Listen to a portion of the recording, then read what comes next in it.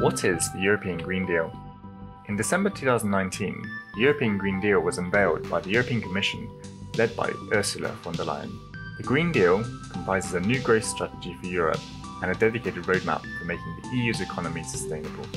The strategy aims at transforming Europe into the world's first climate neutral continent by 2050. Who is leading the work on the European Green Deal?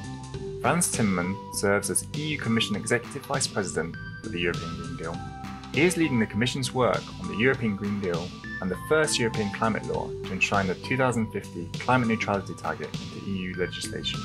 Such law aims at turning the political commitment into a legal obligation and a trigger for investment.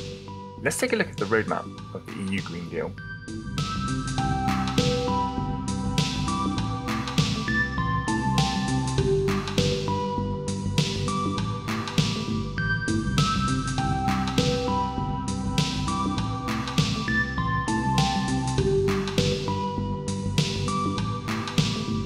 Learn more about the European Green Deal and energy and climate policy.